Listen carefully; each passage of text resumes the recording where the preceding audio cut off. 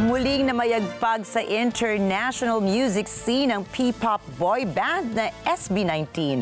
Ito po ay matapos nilang matanggap ang pagkilala mula sa 2024 Nickelodeon Kids Choice Awards. Matagumpay na inanunsyo ng grupo ang pagkapanalo nila sa kategorya ng Favorite Asian Act na mula sa libo-libong boto ng mga fans worldwide. Kabilang sa mga nakatapat nilang mga nominado ay ang K-pop boy band na Enhypen, Japanese girl group na Nitsu, Indonesian singer-actress na si Tiara Andini at Malaysian singer na si Iman Troy. Kasunod nito ay naglabas ng video ang grupo para magpasalamat sa lahat ng mga bumoto at sa lubos na pagsuporta natin.